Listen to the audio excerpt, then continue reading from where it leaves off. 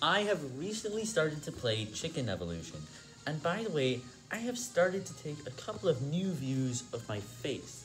That is because I want to have more types of content available for you, and also, I'm going to start promoting some of those Chicken Evolution videos because I want everyone to see it, and I think they're going to be fine to watch.